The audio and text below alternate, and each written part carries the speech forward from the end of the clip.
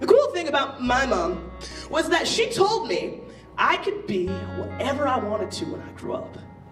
Past the sun, the moon, the stars, and everything in between, as long as it was easily seen, these three things came first. Now, those three things were my family, my education, and the thirst to know my God. But when I was younger, just a little odd. Back when my want for success rather than my want for recess, and back when I thought if I did well in school meant that I was cool. And those who didn't dream were all fools, laid up as tools in the workshop of humanity. And that was the thought process of a seven-year-old me. But when I grew up, I found out it was not that easy. We used to think that we could dream, we could be whatever we wanted to be, but now we've deemed it an impossibility to see the plans laid out for you and for me. Well, can I tell you what I see?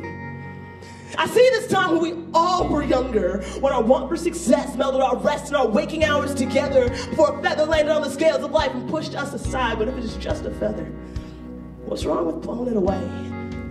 I don't know what you're going through. What I do know is you are just like me, and I'm just like you. We are human in creation, purposeful in ordination, and intent on seeing our salvation from these chains. I am here to tell you things change. It gets better.